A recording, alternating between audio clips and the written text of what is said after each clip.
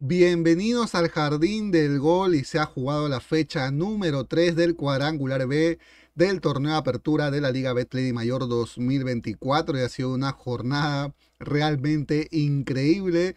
Uno de estos dos partidos de este cuadrangular de esta fecha 3 ha tenido un resultado realmente emotivo, realmente épico. Y el otro partido, bueno, la verdad que me parece que decepcionó a muchos porque supuestamente se enfrentaban los dos punteros, se esperaba mucho de ese partido, pero bueno, la verdad que ha decepcionado para los que esperábamos un gran partido, así que vamos a comentar lo que ha sido esta jornada número 3 de este cuadrangular B, que ha tenido un partido increíble, pero eso lo vamos a ver al final. Vamos a empezar, eh, digamos, en orden contrario, ¿no? Vamos a empezar con el segundo partido de la jornada, que fue eh, 11 Caldas versus Independiente Santa Fe. Fue empate 0 a 0.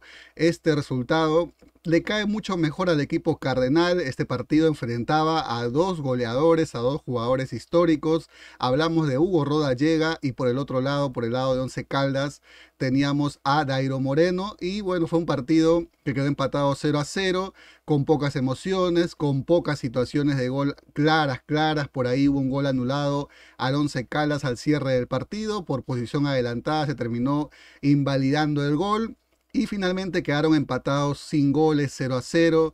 Este resultado beneficia, me parece, o le cae mejor, la sienta mejor al equipo cardenal, que por ahora es el líder de este grupo. Y obviamente en Caldas queda el sin sabor de no haber podido aprovechar la localía para ser puntero por lo menos al cierre de esta jornada en este grupo B. Y ahora vamos a pasar al super partido de este grupo de este día sábado que lo protagonizaron la Equidad contra Tolima con victoria del equipo Pijao por tres goles a dos.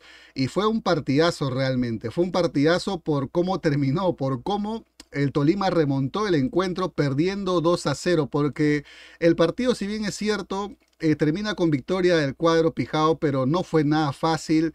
Tuvo que remontar de atrás, tuvo que venir de atrás. El equipo visitante se ponía arriba, el cuadro local con gol de Rojas, jugada por izquierda. El pase hacia la media luna del área grande, saca el remate Rojas potente al primer palo, al palo del arquero. Por la potencia termina colándose y marcando el primer gol del partido y casi al cierre del primer tiempo como para decir que es un golpe anímico. Viveros también con una jugada que empieza por izquierda y acá por derecha, saca un potente remate y vence la resistencia del portero visitante y ponía el 2 a 0.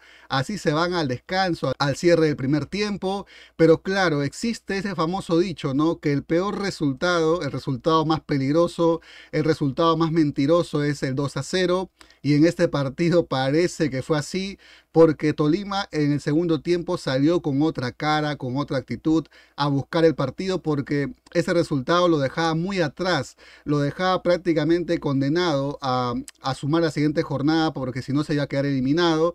Y bueno, sacaría el carácter, haría cambios el entrenador del equipo visitante y conseguiría su premio al minuto 59 vía penal de Guzmán, mano dentro del área y Guzmán define perfecto al arco del portero local para poner el 2 a 1, volvía a la vida el Tolima, pero que ya empezaba a ser mérito porque de ahí en adelante el Tolima empezó a empujar, empezó a meter, empezó a generar situaciones de gol, empezó a llegar y la equidad la verdad que una actitud un poco inentendible, ¿no? Ganando el partido 2 a 0, pudiendo manejarlo de otra manera, dejó al Tolima crecer, dejó al Tolima venirse, la equidad aguantaba, pero de tanto ir, de tanto insistir, Tolima encontraría su recompensa al minuto 88, jugada por el sector izquierdo, remate al arco, tapa el portero, la jugada continúa, Viene el centro por parte de Cortés y Brian Hill de cabeza. Vence la resistencia del portero, vence el arco de la equidad y ponía el 2 a 2. Tolimac sabía que lo podía ganar, sabía que lo podía dar vuelta porque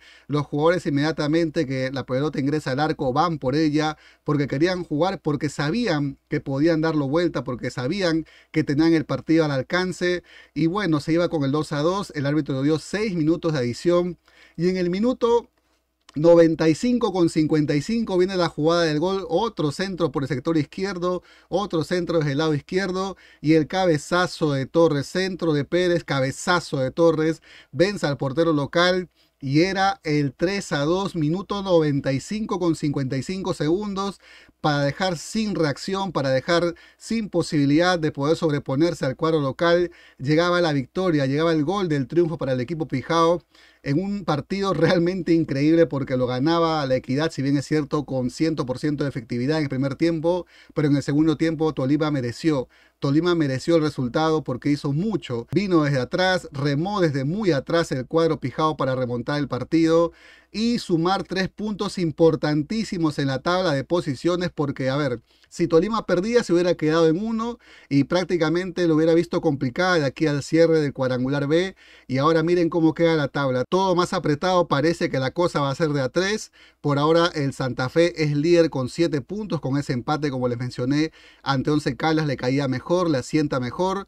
Eh, Once Caldas es segundo con 5 puntos, lamentándose seguramente el no haber podido aprovechar la localía para sacar ventaja. Tercero Tolima con 4 puntos que revive, que vuelve nuevamente a la pelea, que se mete a la lucha por clasificar a la final.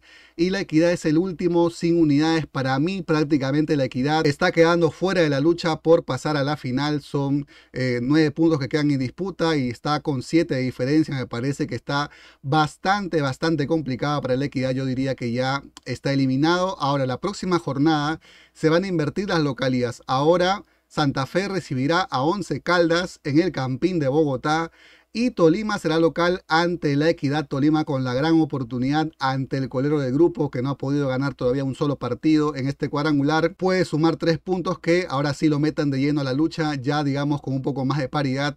Y bueno, veremos qué es lo que depara al final todavía de este cuadrangular B. Y bueno, finalmente vamos a revisar la acción del otro cuadrangular, del cuadrangular A, en donde, bueno, también las cosas están muy apretadas, ¿no? Con un Junior que es líder con cuatro puntos, que todavía no es que hayan sacado gran ventaja, obviamente van solo dos jornadas, apenas tiene un punto de ventaja sobre Millonarios y Pereira ambos tienen tres puntos, así que esta fecha también puede ser un indicador ya para ver qué es lo que va a pasar en las próximas jornadas.